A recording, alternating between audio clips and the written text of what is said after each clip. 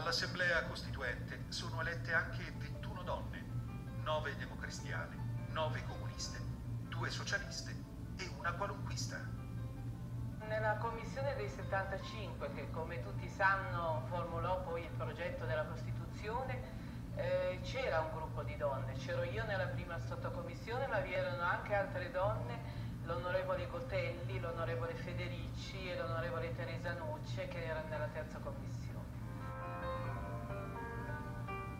La prima volta la voce e la vita delle donne si sentiva nelle istituzioni.